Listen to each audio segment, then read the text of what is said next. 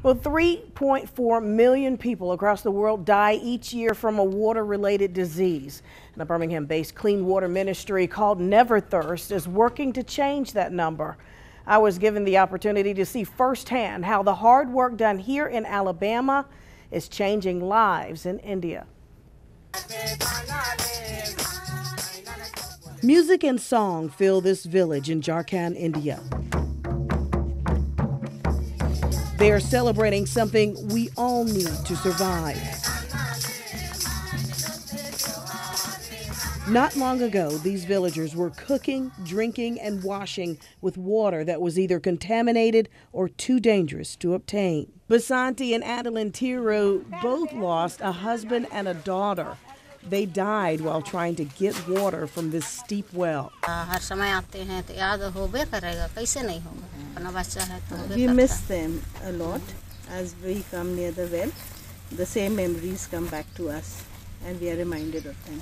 This is just one of many places where you'll find the work of a Birmingham nonprofit called Neverthirst. Co founder and executive director Mark Whitehead says after traveling the world, group members noticed one common theme the lack of clean water.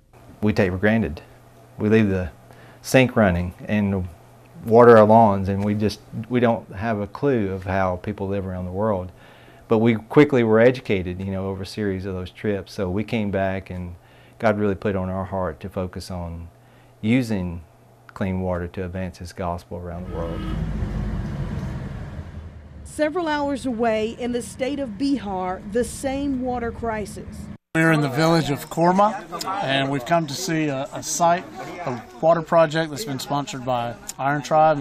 Um, on the way in, we walked past a dried up river um, where they used to gather water that would cause massive sickness throughout a village. Here, drinking water used to come from the same river where animals bathe. Oftentimes, when they get here, they would find out that the river had already dried up. They'd actually have to dig holes in the sand and wait until they get water. And even when they got that water, it would be muddy water. The United Nations reports 130 million people in India did not have access to clean water.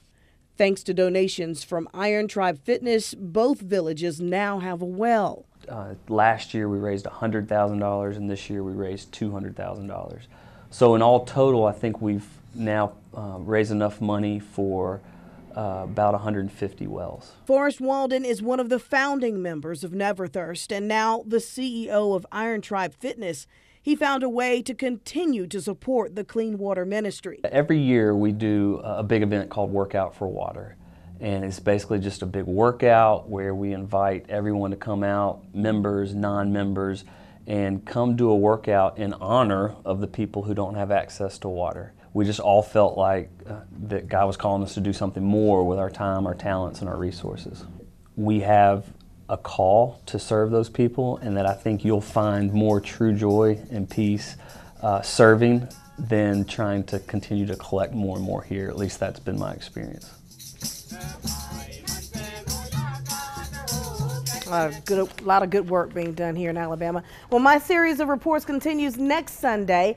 Can you imagine coming home to no doors or very little furniture? After seeing these homes, I was really thankful for where I live. I'll share you those pictures and that story with you next week. For more information about Neverthirst, you can check them out online at neverthirstwater.org.